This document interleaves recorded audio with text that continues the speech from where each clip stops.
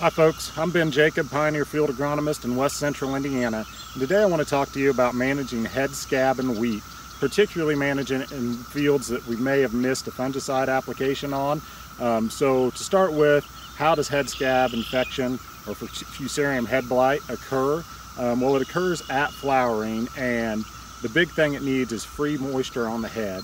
Whenever, whenever the anthers pop out of one of the spikelets, is when you have a point of infection and the disease, if there's free moisture and we're between 75 and 85 degrees, you can get aggressive disease spread.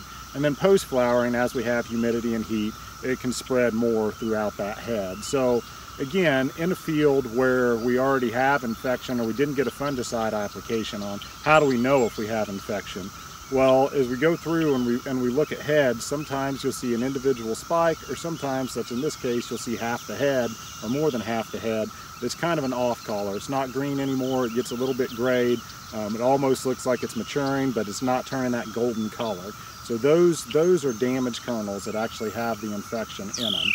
Um, to get an idea of what amount of damage you have, you can randomly sample a bunch of heads, uh, estimate what percent damage on that head, add that up and divide by the number of heads you sampled.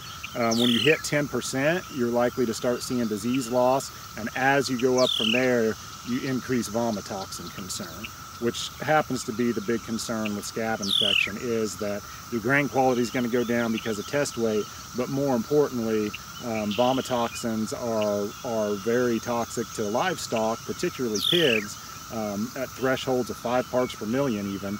Um, they can they can cause issues or the pigs will, will just flat out refuse to eat them.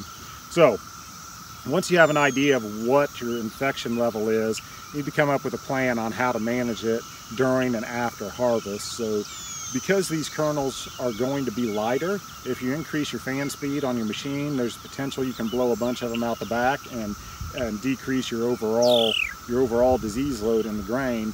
Um, but the most important thing is getting, getting this dry. Below 15%, you're gonna slow down the, the disease spread, um, which which is a good thing because your wheat needs to be stored at 13% or below anyway to, to decrease um, fungal storage fungal spread. So if you didn't spray your wheat this year with all the humidity and the rains we had right around flowering, I'd encourage you to go out and assess what the damage actually looks like and make a plan for dealing with that during harvest and after. Thanks for watching. That concludes this Pioneer Agronomy video podcast. Visit our page on pioneer.com and follow us on Twitter and Facebook for more agronomy insights.